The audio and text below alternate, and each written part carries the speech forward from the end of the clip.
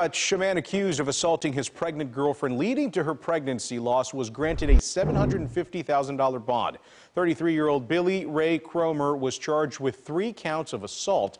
If Cromer posts bond, a Detroit judge ruled he would have to wear a GPS tracker and have no contact with the victim.